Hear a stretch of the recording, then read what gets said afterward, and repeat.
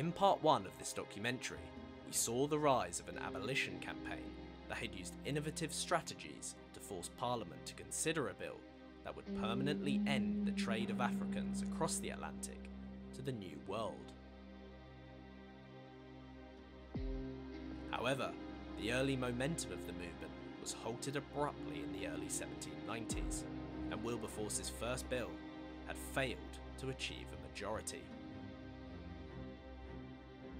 Apart from the fierce opposition of wealthy planters, both within the metropole and in the colonies, what had changed to cause the campaign to lose its impetus?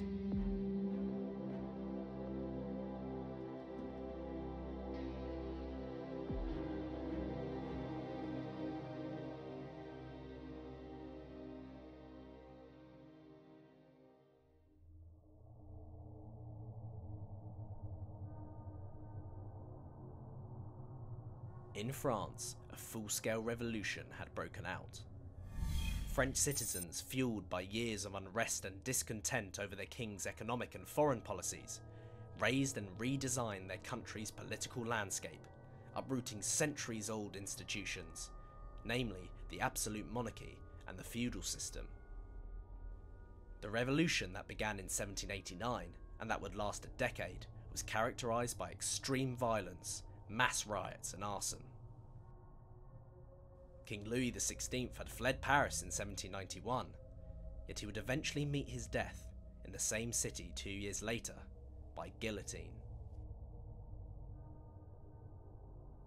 On the other side of the Atlantic, another revolution had arisen in the form of a slave uprising in the French colony of Saint-Domingue. Saint-Domingue in the late 18th century was undoubtedly the most valuable European colony. It produced roughly 40% of the sugar and 60% of the coffee exported back to Europe. In order to reach these statistics, the colony saw an unprecedented scale of importation. Throughout the entire 17th and 18th century, Saint-Domingue imported close to 800,000 slaves, and in the immediate years leading up to the revolution, historians have calculated that roughly 40% of the entire transatlantic slave trade disembarked in the colony. The revolutionaries in France may have felt hard done by, and one would be naive to dismiss their cause for frustration. But if one was to compare their conditions to that endured by slaves in the French West Indies, well then, their problems would not have seemed so unbearable.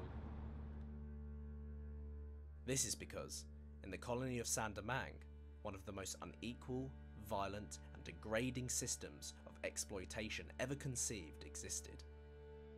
In the search for profit and extreme wealth, planters worked slaves to death, punishing those who could not keep up brutally with the whip.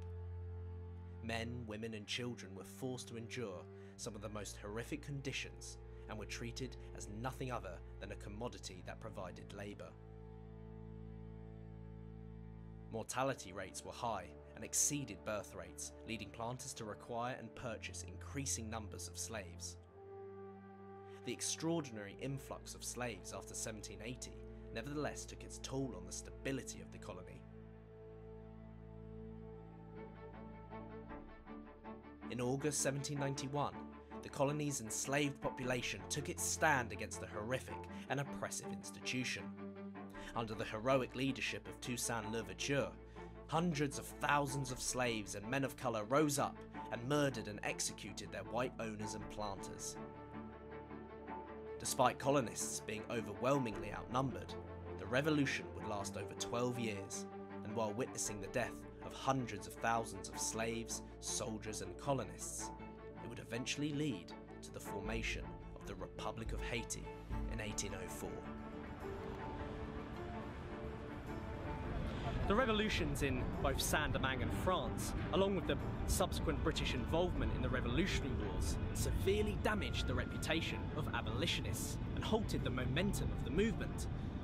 With the government's attention now solely fixated on preparations for war, the movement was, as historian Robin Blackburn states, stopped in its tracks by an anti-Jacobin mobilisation, reinforced by the perceived necessities of imperial defence and competition.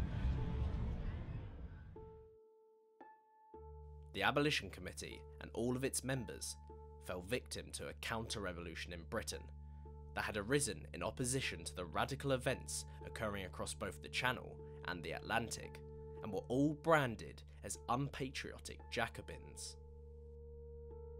Indeed, many in Britain had read and become influenced by the words of the highly respected political theorist Edmund Burke, who, in his Reflections on the Revolution in France, published in 1790, described the uprising as an utter disgrace and a blow aimed at the hand holding out graces, favours, and immunities. The rebels and false patriots, harnessed by enlightened ideas and sentiment, had only seen laws overturned, tribunals subverted, industry without vigour, commerce expiring, people impoverished, and a state not relieved.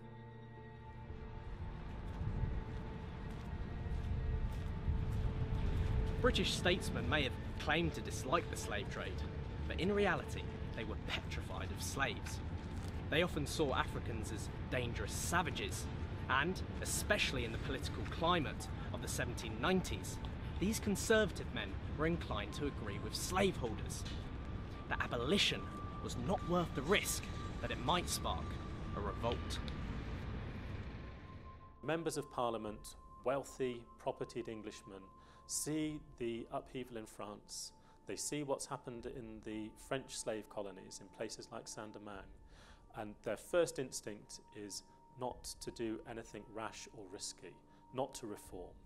And so this helps to make sure that the campaign for ending the slave trade goes quiet and doesn't get the reception that it might otherwise have had in Parliament for at least a decade. For the next 15 years, the disappointments were numerous and frequent. Between 1790 and 1805, the only success achieved by the campaign had been the passing of a renewed version of the 1788 Dolben Act roughly 10 years later, which had initially restricted the number of slaves that could be transported on British ships to the colonies. Nevertheless, it was clear that the campaign was in dire need of rejuvenation. But this was clearly a difficult task against such fierce opposition. The thing that really worries Parliament is the practical implications of abolition. Um, they're worried that this might undermine a, a central part of the British Empire, a central part of what makes the British Empire prosperous, and a central part of what makes Britain a great maritime nation. Remember that so much of that is dependent on its overseas trade. So they're keen to abolish on the grounds of religion and morality, but they are deterred because they're worried about, well, what might be the practical implications to us um, in terms of business, in terms of money, um, in terms of uh, an, uh, our national interest of abolishing this trade. Pro slavery lobbyists, in abundance, were quick to stress the economic importance of the Caribbean colonies to the empire and the dangers of abandoning the trade. The value of these colonies in their present state is no less a sum than 90 million We have pounds. a pretty sure prospect that upon abandoning it, France and Holland will enter the It's one trade. of those events which will more effectively assist Bonaparte in his projects of ambition against the British Empire. The trade evidently, according to pro slavery lobbyists, had long supported the commercial greatness of Britain and had single handedly developed ports such as Bristol, Glasgow, and Liverpool. And so, throwing away lavishly the capital and revenues of this country, as Mr. Windham exclaimed to the House of Commons, would be letting the Empire of Britain fall. And so, the campaign knew it had to make some adjustments. While it was almost universally acknowledged that the moral argument had already been won, both the profitability of the trade and the fear of revolution remained key impediments in the way of abolition. The lack of any substantial legislative reform in the 17 years since the committee had been established was telling, and indicated that a different approach was needed. In order to implement a new strategy, however, abolitionists needed a stroke of luck. Ironically, this came with the death of Prime Minister William Pitt the Younger, who had been a close friend to Wilberforce and had openly advocated abolition in Parliament. Nevertheless, despite it being under his government that the question had been introduced, the unfinished abolition of the slave trade has been considered by biographers to have been his greatest failure. Pitt always claimed he wanted to see the abolition of the slave trade, but he never told his party in Parliament how to vote on it. He always saw it as a question of conscience. And so the MPs who normally would support the government, his government as Prime Minister, were allowed their own freedom to vote as they wished on, on abolition bills. And it's partly that, I think, that helps to explain why abolition wasn't successful under Pitt. William Pitt, after having served as the youngest Prime Minister for 20 years, yet after having long suffered from ill health, eventually died in Putney and was buried here at Westminster Abbey on the 23rd of January 1806. Still in a state of war with France, King George III asked the first cousin of the deceased Pitt, Lord William Grenville, to form a government of national unity. Essentially, a coalition government formed of three parties. It would become known as the Ministry of All Talents. The coalition ministry was dominated by those who supported abolition, not least its Prime Minister. William Grenville had long supported the ending of the trade. But he, along with other abolitionists, recognised that in order to pass a bill in Parliament, they had to promote it on the grounds that it supported national as well as colonial interest. Lord Grenville really lends heavy support to the cause of abolition as Prime Minister and even goes so far as to introduce the bill himself in the House of Lords. And uh, he recognises that the Lords had been a big stumbling block to passing abolition in the past. It was really in the Lords that the big abolition bills of the early 1790s were lost. Um, it's a much more conservative place um, than the House of Commons. And um, Prime Minister Grenville in 1807, as a member of the House of Lords, really puts his mark on the abolition bill um, by introducing it into the upper house, into the Lords, and making it very clear that he wants to see this legislation go through this time. Throughout the abolitionists' struggle to achieve reform, the revolution in Saint-Domingue had persisted into the 19th century, and the death toll was increasing. Abolitionists had now long been stressing the danger of continuing the trade and the likelihood of an internal rebellion occurring in Britain's colonies, but often to no avail. Direct correlations had been drawn between the mass influx of slaves imported to the French colony in the years preceding the Revolution, 215,000 of which were recorded to have arrived between 1780 and 1790 alone, and the uprising itself. Abolitionists get wise to parliamentary politics in the early 19th century, and circumstances also change in their favour. One of the things that abolitionists are able to do um, from 1802 onwards is make really strong arguments about Saint-Domingue and the revolution that's taken place in Saint-Domingue, the Haitian Revolution as it's often termed. Um, they make a really strong argument as to why that means that the British slave trade should be abolished.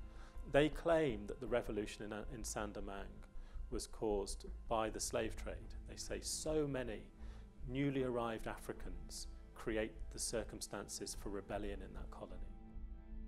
Henry Brougham, a Scottish lawyer, co founder of the Edinburgh Review magazine, and later Lord Chancellor, published a pamphlet in which he warned of the dangers that a continual importation of slaves to the Caribbean might cause to the stability of Britain's West Indian colonies. In a concise statement of the question regarding the abolition of the slave trade, Brougham stated When the fire is raging to windward, is at the proper time for stirring up everything that is combustible in your warehouses and throwing them new loads of material still more prone to explosion. A metaphorical insinuation that Jamaica might soon suffer from the same consequence as seen on its neighbouring island. The Scottish abolitionist asked, Does anyone imagine that the slaves of Jamaica are ignorant of the proud superiority of their free brethren on the opposite shore? Similar rhetoric was seen within the debates in Parliament, where the Foreign Secretary Lord Howick stated, It is most clearly established in evidence that the class of Negroes from which insurrection is to be feared consist of those recently imported from Africa, exposed to new injuries, still smarting under the wrongs they have been compelled to endure. Essentially, Howick claimed that those born into slavery had no concept nor any experience of freedom, and hence were less likely to challenge the institution.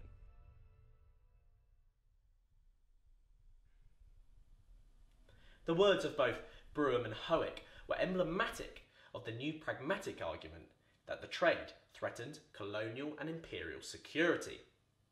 It is also worth mentioning that these men were not only highlighting the danger of newly imported Africans as a revolutionary force, but they were also suggesting that locally born slaves, or Creoles as they were often referred to as, would make up a more manageable and sustainable workforce. With all being said, the fact of the matter was Britain now had no choice. It either immediately abolished its trade, in which case it could preserve its colony and the profitable institution of slavery, or it didn't, in which case it would inevitably witness the loss of its most lucrative colonial asset forever.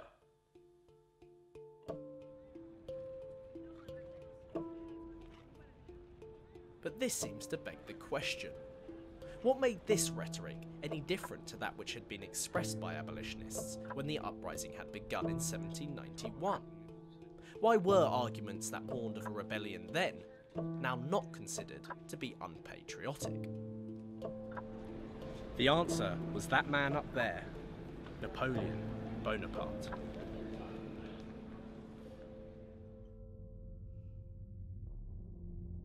In 1799, the military leader had organised a coup and had seized political power in the new French Republic as first consul. While the constitution preserved the appearance of a republic, in reality it had established a dictatorship. It wasn't long before Napoleon soon crowned himself the Emperor of France in 1804. Under his leadership, Napoleon sought to expand the French Empire and one of his first priorities was to reinstate slavery in the former French colony of Saint Domingue. In 1801, Napoleon sent an impressive expedition to reassert control over the colony.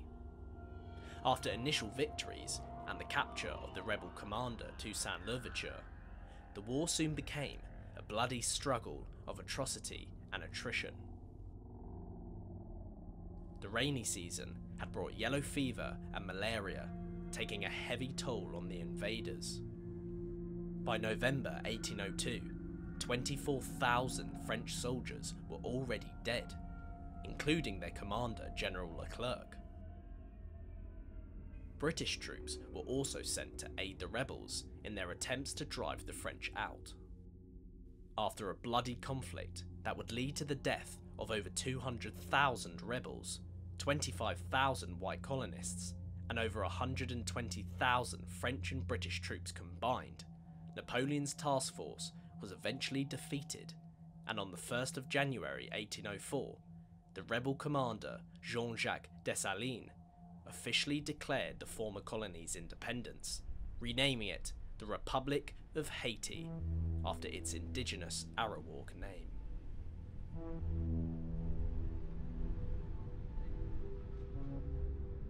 Napoleon's defeat and the formation of Haiti proved to be an extremely significant moment in the timeline of abolition.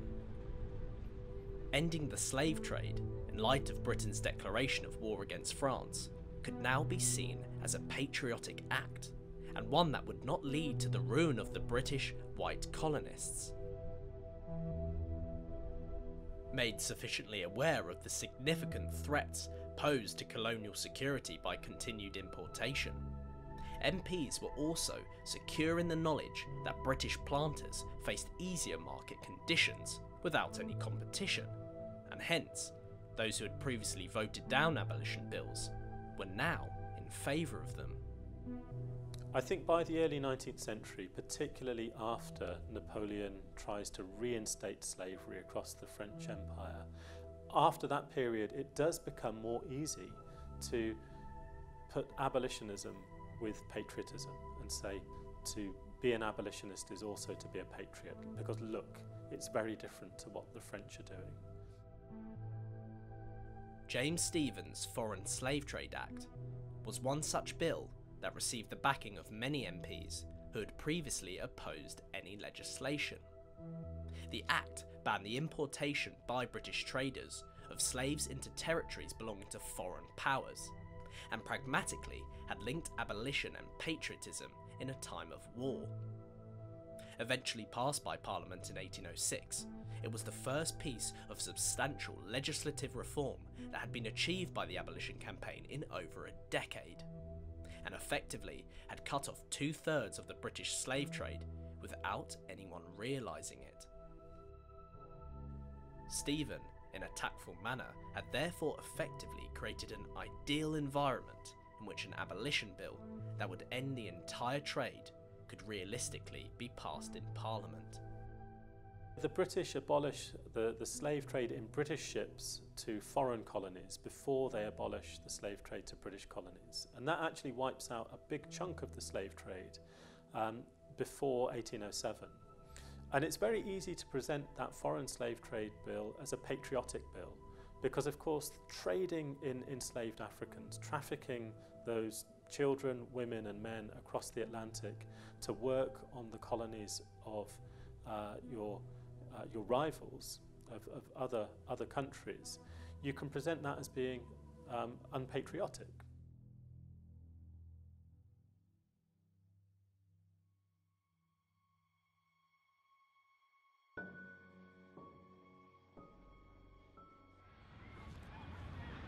Foreign Slave Trade Act had paved the way for abolition to occur. Clearly, as a result of the new pragmatic approach, abolitionists were able to transform their agenda into a legislative reality. Less than one year later, the Slave Trade Act was passed in government and given royal assent on the 25th of March 1807. Historian Philip Morgan once suggested that should the question of abolition have been put to a referendum, it perhaps may have been abolished as early as 1788. There can be no doubt that the work of men like Thomas Clarkson and William Wilberforce lay at the foundation of the abolitionist movement and helped to force Parliament through an impressive and innovative campaign to consider abolishing a trade that was extremely lucrative to Britain and her empire. One of the things that we see with the abolition movement, of course, is one of the first uh, examples of pressure group politics and a really successful group that has its own logo, um, that tries to influence Parliament not by backdoors lobbying, um, talking to individual MPs, but by taking a case to the nation and getting public opinion on its side um, and using that as a way to try to put pressure on Parliament um, to, to pass a substantial piece of legislation. Nevertheless, throughout this documentary, we have explored how legislative reform depended on a new pragmatic approach, alongside influential external factors and events. While the death of William Pitt had allowed for a ministry committed to ending the trade replace his government, the rebellion in Saint-Domingue and Napoleon's failure to recapture the colony created the opportunity for abolitionists to implement their new pragmatic approach. End the trade on our terms, they argued, and we can retain our lucrative colonial asset without the fear of being outcompeted or a full scale rebellion. The abolition of the slave trade was a monumental event in British history. It was an event that split party lines, political relationships, personal friendships, and divided well respected public figures. While some 18th and 19th century imperial heroes and famous authors openly advocated slavery and racial inequality, others stood firmly against it. Accusations of hypocrisy and duplicity were widespread within a debate that involved issues that still remain at the heart of the current political climate, those being security, the nation's economy, morality, and principle. In the end, it seems that while many MPs debating abolition claim to be acting out of deeply held moral ideas, the discussion was only decided when abolition could be shown to serve the national interest. Perhaps abolition was not such a special case after all.